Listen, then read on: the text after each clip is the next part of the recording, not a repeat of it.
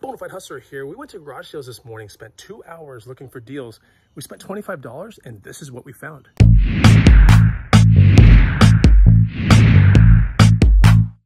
What's going on guys and gals? Chris the Bonafide Hustler coming to you live from the outside of my house and all the stuff that's in the thumbnail of this video is sitting right here in my front yard. I'm going to show it to you and this is just a video showing what $25 at a random garage sale day here in Austin, Texas in the month of October looks like. Don't forget to follow me on Instagram at the Bonafide Hustler, and you can get the free money making guide right here. First link down below. Go check it out. Go get this guide. It'll teach you 50 items that you can start looking for to buy and resell that are predominantly used.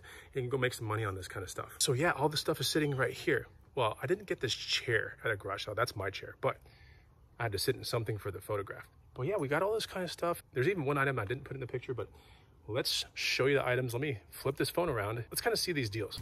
The first find in the morning, surprisingly for two bucks, was this redhead. I think it's called a redhead. Yeah, it's a redhead hat. It's pretty neat. It's almost like a wax cotton type or a wax canvas type hat. Very neat hat. This in the booth would sell for about 15 bucks, so I decided to swing for two bucks. Okay, so here's like the main stuff that we bought for $25. And my girlfriend, she saw this at a garage sale right here. This was $5. This is a stained glass lamp. These things do really well in the antique booth and even on Facebook Marketplace. But something like this easily could sell for about 50 to 80 bucks on these local avenues and at the antique mall that we have a booth in. So this is where it gets kind of interesting because for $8, we got these two machines, we got that crate, we got this target, and we got those two glass things over there all right? So i'll show you more of that. But that's for eight dollars. So each one of these things um, these are old uh, antique singer sewing machines. And each one of these look at that even the needle goes down and up. Looks pretty neat right? So each one of these will probably resell for 50 to about 70 bucks in the booth. That was part of the eight dollar deal right there. These are not this is not the condition that we bought them in but we kind of already have taken most of the dust off.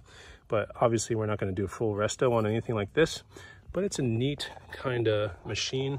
It's not a red eye or anything like that, but still a neat machine. Definitely old, um, and uh, it's after 1900 as well, per the actual um, patent and per the actual, um, you know, thing right here, which is the serial number. Yeah, not a bad find at a garage sale. In fact, that same garage sale had this. Now this thing has some issues. You can see it's missing a plank. But these Coke crates easily in the booth will do, you know, 15 to 20 bucks in this condition. If it was a much better condition, it'd be closer to 50 to 70. Then we got something like this. That was part of the $8 deal. You go to an average Dick's Sporting Goods Academy, you know, one of those kind of places. These things are running between, you know, 30 and 50 bucks, maybe even more. This is an archery target right here. And it's a way for you to, you know, kind of practice before you get out into the wild to actually shoot some stuff. So um, this one doesn't look like it's actually been hit much or at all. In fact, I only see a couple places where arrows might have gone in, but outside of that, it's in great condition. I'm probably going to keep just because I want to get a bow and arrow or a crossbow and I want to start practicing. So, you know, you save money when you go to garage sales as well for things that you kind of want to have in your normal everyday life. And this was one of the coolest things that I found today. I've always wanted one. And it kind of sounds stupid because I could just go to a store and buy one. But at the end of the day, you know, I try to have my hobbies line up with the things that I find at garage sales and thrift stores. And the timing is kind of dependent on if I find them at that time. Also part of that deal were these two glass containers. Now this on average, these are antique ones. These on average will sell between about 27 to about 45 bucks in an antique booth. So that one's a pretty nice one right there. More than likely used to store water or wine or something like that. This one's interesting in the sense that it has a hole cut out. And so this one is probably better for a plant but still it's probably going to sell between 25 and 45 bucks. It's pretty cool looking. But yeah, these things have done really well with these in the antique booth especially. So I pick them up when they're super cheap. Of course, this was part of that $8 deal as well. This is a no-brainer at a garage sale. At least for me, I have the vintage booth and this is just a window pane with like a shelf built into it. And it's got these fake flowers and everything. This was $5 at a garage sale.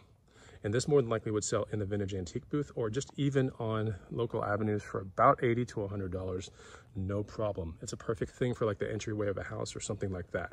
By far the best find of today is very unsuspecting, so I'm gonna show you this. $5 and I haven't even like taken all the dust off of it or anything like that. We have a Pelican 1510 rolling case and it really looks like it has not been used much at all. Check out these bottom wheels. You know what I'm talking about? I mean, just look at that. That is in really good condition. So a Pelican 1510 could be used to like transport cameras, like expensive kind of electronics. Um, this is a rolling case as well. And obviously it is waterproof, right? So you open these things right here and then you have all this and you have a lot of ways to take some of these things out to make it to a perfect dimension for whatever you're putting in there. But very nice kind of case and it's a genuine Pelican as well. There's the pressure thing right there. Locks real good, sounds good. $5 at a garage sale, asking price 10, right? The sticker's still right there, it says 10. Um, this on eBay sells for like 150 plus. So I'm thinking locally, um, have it simultaneously listed for like 120 or so. so. That's definitely the best find, most unsuspecting kind of find, but I know about these kind of cases and I buy and resell Pelican cases when I find them at garage sales, but this is probably one of the better condition ones that I've found. Um, but yeah, remember this 1510 case, but just remember any rolling case that Pelican makes, it's kind of like this, any dimension really, it's gonna do very, very well because these cases are oftentimes like 300 to $500. So if you're out there and you want to buy a Pelican case, you know, finding one on Facebook Marketplace or on eBay for 150 or 120 is quite the deal. But those are the finds from today and I decided to put a video together. I'm sorry I didn't make the vlog of like actually how we like brought it home or you know, in the action of finding this stuff actually at the garage sale. I just didn't really think today was gonna be that great of a day. What's even more crazy is my little small spaceship was filled all the way to the top. Yeah, that was a little uncomfortable, but I didn't bring the SUV out today and you know, it got kind of close to that kind of day where maybe I needed the SUV, but pretty cool stuff. So yeah, $25, fair amount of resale profit. What do you guys and gals think? Put a comment down below and I'll see you on the next video. Take it easy. Goodbye.